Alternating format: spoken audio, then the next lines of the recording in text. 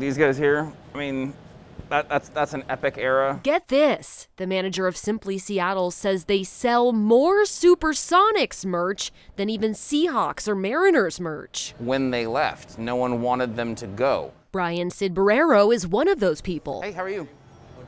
Good. That was uh, Gary Payton in that shirt. He happened to be buying a Sonics shirt And they drafted Kevin Durant also. while we were there. I'm from LA, but I'm, I'm a huge NBA fan. Oh, nice. And he's not the only one. They may be a Seattle team, but they're loved by fans everywhere. I sell tons and tons of Supersonics gear every single day of the year because people just love it. Commissioner of the NBA, Adam Silver, recently said there's great cities out there that want teams. And I think there's enough great players in the world where we could fill two more teams. Bringing the Sonics back.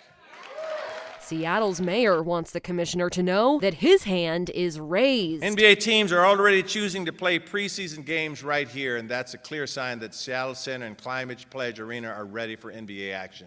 We stand ready to do whatever it takes to bring back the green and gold, and we all know we have won championships here before, and we will again. So this NBA fan's placing his bets. Vegas and Seattle are the, top, are the top two places that are being spoken about. And Harrell's hoping it would attract tourism dollars 5731. from visitors like Sid Barrero. I've never booked a flight or a ticket to go see another team other than the Lakers, But he'll be back. but I would totally come in and see it. The Sonics are too.